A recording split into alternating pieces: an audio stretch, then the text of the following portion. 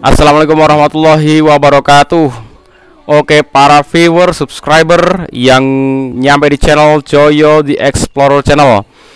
Oke, dulur-dulur KB yang nyampe di sini Selamat datang. Yang baru saja menemukan channel ini Selamat datang dan silahkan subscribe Ikuti eh, video-video uh, selanjutnya dan video-video terdahulu yang sudah saya upload dan keren-keren silahkan diikuti ngoprek dengan mobil mobil saya pasang karburator sepeda motor nah, dan ada kabel-kabel busi yang saya pakai modifikasi dan sampai sekarang saya gunakan masih sangat oke okay, ya. Nah, silakan ditengok si videonya. Untuk yang kali ini saya akan uh, mencoba menyampaikan kepada kalian semua yaitu yang pertama tentang motor starter ya. Jadi ini ada komponen ini motor starter ya. Kemudian ini di sini motor starter itu ada pinion yang untuk menggerakkan ini roda gila dan ini roda gilanya. Nah, roda gila yang muter ini nanti akan menggerakkan mesin di dalamnya lalu menghidupkan mesin cara kerja, kemudian permasalahan-permasalahan yang terjadi apa, kemudian salah satu contoh yang di sini ini nanti kondisi di mana motor starter tidak berfungsi tidak berfungsi. Nah, nanti permasalahannya apa? E, kalau di video sebelumnya saya sudah memberikan sebuah gambaran bagaimana cara mengatasinya. Oke. Kita mulai dari awal dulu cara kerjanya ya. Cara kerjanya si saat kunci kontak di starter cereng maka solenoid di sini ada solenoid itu akan mendorong pinion ini akan mendorong motor starter ini ya. Ini akan terdorong ke sini ya. Akan terdorong ke sini. Kemudian sambil mendorong ini juga berputar ya berputar. Nah mendorong dan berputar ini roda gigi ini sama gigi motor starter ini apa flywheel ini akan bertemu. Bertemu lalu berputar bersama-sama. Nah saat berputar bersama maka flywheel ini akan berputar ya. Nah perputaran flywheel ini akan memutar crankshaft mesin lalu terjadilah hisapan atau semburan udara apa semburan udara dan BBM di ruang bakar itu.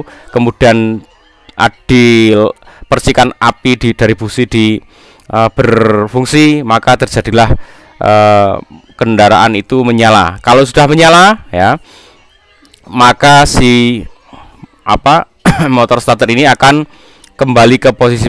Begitu ini udah ketemu tek berputar, nanti kita lihat ya. Ke, maka dia tugasnya selesai. Begitu mobil sudah hidup, jeng, maka kontak akan dilepas, maka listrik dari uh, ini terputus, maka terputusnya listrik ini akan menghilangkan sifat kemagnetan. Karena magnetnya hilang, maka ini akan tertarik lagi ke posisi semula yaitu seperti ini.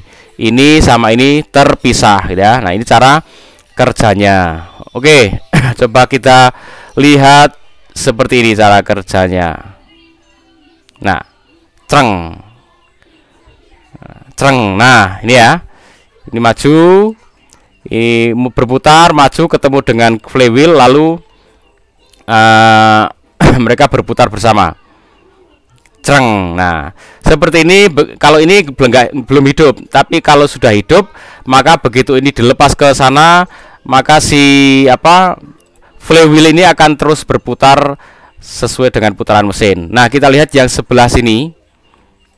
Nah kita lihat. Ini ya Nih. Lihat, perhatikan, cereng. Nah, ini maju lalu berputar tapi si roda gila ini diam saja. Artinya dia tidak mengait lalu berputar. nah, ini seperti ini berarti tidak berfungsi. Kalau ini tidak akan bisa menghidupkan mesin ya. Nah, permasalahannya apa? Permasalahannya nanti bisa dicermati. Bisa jadi ya, ini pemasangan pemasangan ini eh, motor starter ini di sini dilihat ada baut-bautnya itu pastikan kenceng, longgar, uh, jangan sampai longgar. Sehingga di saat maju itu giginya bisa nyampe dan dan bisa bersalaman gini ya. nah, bisa nyampe. Kalau ini tek maju tapi dia uh, tidak nyampe sehingga dia muter sendiri tidak menggerakkan seharusnya seperti ini ya seperti di sini. Ini maju sampai sini bersalaman tek lalu berputar bersama. Nah permasalahannya bisa jadi itu ya uh, di sini pemasangannya ada longgar di apa baut-bautnya. Nah itu harus dipaskan lagi di setel. Kemudian bisa jadi kalau kalian perhatikan giginya ya di sini uh, ada gigi. Kalau seperti ini ini gigi giginya masih bagus ya. Bagus. Nah giginya pastikan ini bagus.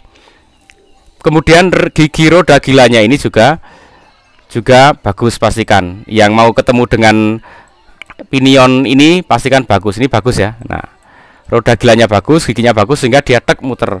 Kalau ini saya perhatikan ini giginya masih bagus ya sini.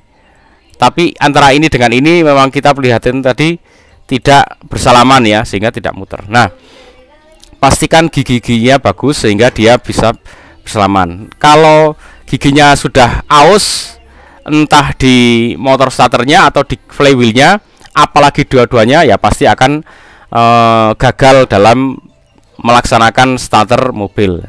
Nah kalau sudah seperti itu solusinya bisa didorong. Kalau didorong berarti roda uh, mobil itu akan menggerakkan transmisi dan menggerakkan um, apa mesin di dalamnya sana.